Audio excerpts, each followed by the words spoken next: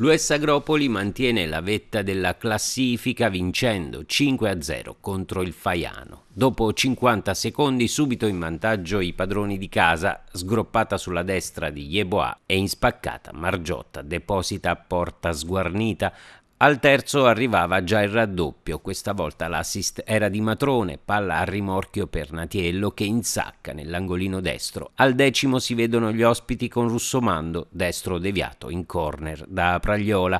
Quindicesimo assist di Yeboah per una bella torsione in tuffo di Margiotta, palla sul palo. Al ventesimo occasionissima per l'Agropoli, sgasa Monzo sulla sinistra e Margiotta di testa manca il gol del 3-0.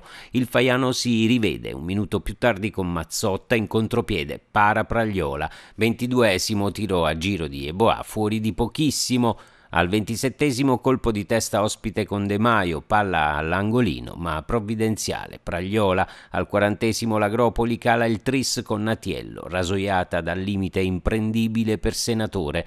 43 e sono 4. Splendido assist di Masocco e Margiotta non può sbagliare in acrobazia al centro dell'area. Agropoli straripante e al 44 arriva il quinto. Bella combinazione sulla destra e per Masocco è un gioco da ragazzi depositare con una rasoiata alle spalle di Senatore. Sul 5-0 finisce il primo tempo.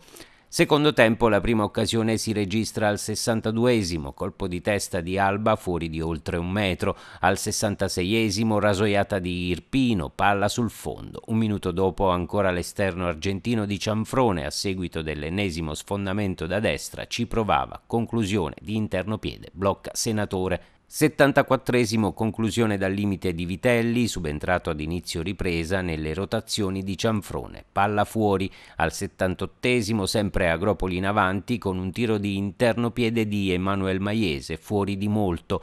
All'85 tiro centrale di Vitelli la blocca Senatore. Nel finale spazio ancora per la punta cilentana che non riesce a trovare la porta nonostante un bel diagonale.